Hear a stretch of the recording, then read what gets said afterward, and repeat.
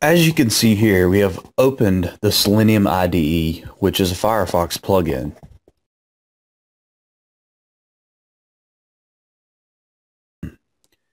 Installing the Selenium IDE is covered in a previous video.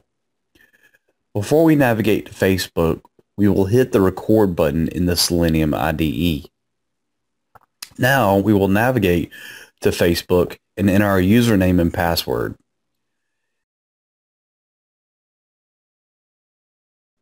You can now see the commands that were recorded in Selenium.